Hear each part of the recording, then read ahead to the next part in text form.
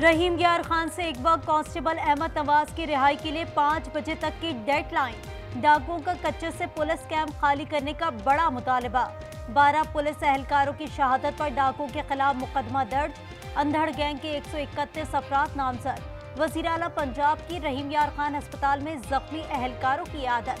हौसला बढ़ाया। आईजी पंजाब मरीम नवाज़ को कच्चे ऑपरेशन पर ब्रीफिंग देंगे। इजलास में अहम फैसले मुतव सूबाई हुकूमत ने डाकुओं के सर की कीमत 10 लाख से बढ़ाकर एक करोड़ रुपए कर दी।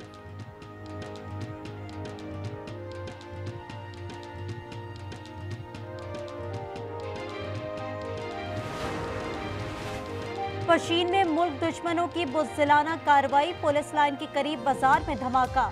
जाबाहक अफराद की तादाद तीन हो गई, मरने वालों में दो बच्चे और खातून शामिल। चार अफराद की हालत नाजुक।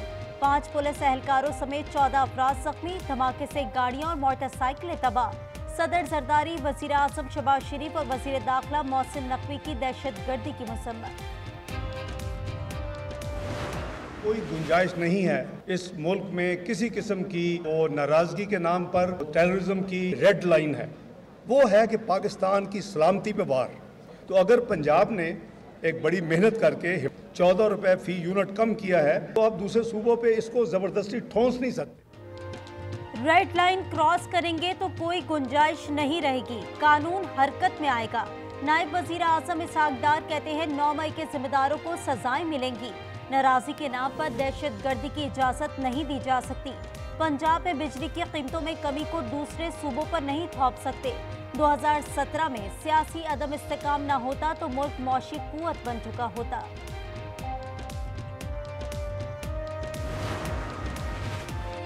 झूठे बयानिए से पीटीआई पर कब्जे की जंग का भांडा फूट गया। अलीमा खान का रऊफ हसन के साथ व्हाट्सएप पैगाम का तबादला। 23 जून 2023 को अलीमा खान ने रऊफ हसन को बुशरा बीबी से मंसूब पैगाम भेजा। अता ताड़त कहते हैं कि पीटीआई टूट फूट का शिकार है। कई हिस्सों में बढ़ चुकी है। 2018 के जो इंतबात हुए थे, वो एक दानदी ज़दा इंतबात थे। एक मसनू शख्स को जो है, वो ज़बरदस्ती वज़ी अजम बनाया गया। 2018 से साढ़े तीन साल तक जितनी भी हुकूमत रही पीटीआई की, कोई एक मंसूबा पूरे पाकिस्तान में कोई गिनवा नहीं सकता। तहरीक इंसाफ ने सिर्फ़ वादे किए। पीटीआई हुकूमत का एक भी मंसूबा नहीं गवा सकते। शर्जील मेमन की तनकीद कहा 2018 में इंतबात में दांधली करके एक शख्स को लाया गया। पीटीआई की नाअहली का बोझ दूसरी हुकूमतों पर पड़ा। जिना अस्पताल किसी सरकार के खर्चे से नहीं चल रहा है, ये डोनर्स की मदद से चल रहा है। कोई साइबर नाइफ दिखा रहा है तो हुकूमत ना वफाक की, ना सूबे की। उसका एक पैसा नहीं लग रहा है यहाँ के तालीमी इदारों में। ये शहर खैरात में पल रहा है तो पूरे मुल्क को खैरात दे रहा है। जिना अस्पताल खैरात के पैसों पर चल रहा है। अवाम टैक्स दे रहे हैं तो चीज़ें डोनेशन से क्यों चल रही हैं? खालिद मकबूल सिद्दीकी का सवाल, कहा कराची का टैक्स कहाँ लग रहा है? नासिर शाह का बयान मज़ाक खेस करार दे दिया। कहा अस्पतालों का चंदा आवाम की बेहतरी पर खर्च हो रहा है। ईरान बस हादसा 28 मैयतों की तदफीन लवाहकिन और शहरियों की बड़ी तादाद की शिरकत।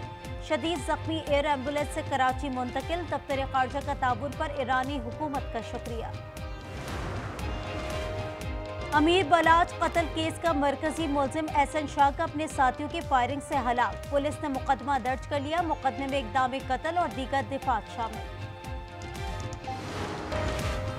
कराची में बस अड्डों को शहर से बाहर मुंतकिल करने पर ट्रांसपोर्टर्स आपे से बाहर। शहरियों को फ्री शटल सर्विस गाड़ियों पर ट्रांसपोर्टर्स का हमला शटल सर्विस के शीशे तोड़ दिए।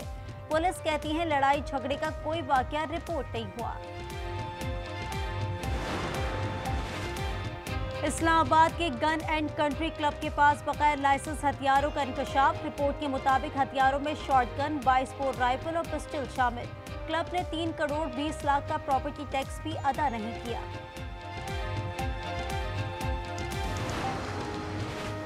पीडीएमए का पंजाब भर में मजीद मानसून बारिशों का अलर्ट। बारिशों का नया स्पेल कल से शुरू होगा। 29 अगस्त तक सूबे भर में बादल बरसेंगे। कराची में 26 अगस्त से एक और जोरदार स्पेल की पेश पेशगोई रावलपिंडी टेस्ट के चौथे रोज का खेल, कौमी बॉलर्स बेबसी की तस्वीर बन गए। बांग्लादेश की पाकिस्तान की पहली इनिंग्स के स्कोर पर बढ़तरी छह विकेटों पर चार सौ बयासी रन बना लिए। मुशफिकुर रहीम के डेढ़ सौ रन शकीबुल हसन को बांग्लादेश क्रिकेट टीम से निकाला जाए। बांग्लादेश के सुप्रीम कोर्ट के वकील का बीसीबी को नोटिस। क्रिमिनल केस में शामिल खिलाड़ी को टीम की नुमाइंदगी नहीं करनी चाहिए। दौरा पाकिस्तान से फौरी वापस बुलाया जाए।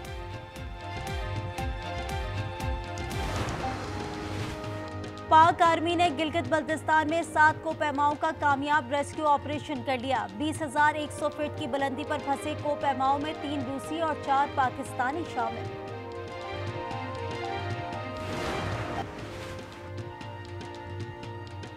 भारतीय शहर कोलकाता के बाद महाराष्ट्र के अस्पताल में भी खातून से ज्यादती। सरकारी अस्पताल में 25 साल नौजवान ने पैंसठ साल खातून को निशाना बनाया। मोहम्मद खातून इलाज की गर्ज से आई थी। बांग्लादेश में सैलाब से मरने वालों की तादाद 36 हो गई 48 लाख अफराद मुतासर। 9 लाख अफराद फंस गए। तूफानी बारिशों से 11 असला को शदीद नुकसान पहुँचा। बानवे फ़ीसद मोबाइल टावर्स गिरने से रबता मुनकता, फौज का रेस्क्यू ऑपरेशन जारी। गजा पर बारूद की बरसात, ताज़ा बमबारी में मजीद सैंतीस फलस्तीनी शहीद। शहदा की मजमू तादाद चालीस हज़ार दो सौ पैंसठ से जायद हो गई। इसराइल ने जबालिया कैंप से नकल मकानी करने वालों पर भी बम बरसा दिए। मुताद शहादतें, खान यूनिस में दो घरों पर हमले में ग्यारह फलस्तीनी शहीद हो गए। गजा के मजलूम फलस्तीनियों से यकजहती, डब्लिन में पार्लियामेंट के सामने गजा के बच्चों की अलामती लाशें रखकर एहतजाज यमन के दारुलकूमत सना में शदीद बारिश के बावजूद मजलूम फलस्तियों के हक में आवाज़ बुलंद। उर्दन में भी शहरियों की बड़ी तादाद ने गजा रैली निकाली।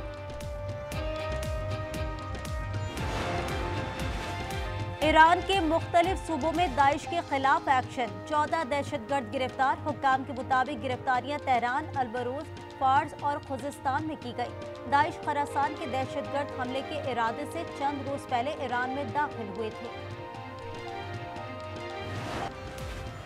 एक नहीं, दो नहीं, बल्कि तीन super overs. T twenty cricket में अनोखा रिकॉर्ड कायम। भारत के महाराजा ट्रॉफी में बेंगलोर और हल्बी के दरमियान मैच का फैसला तीन सुपर ओवर में हुआ।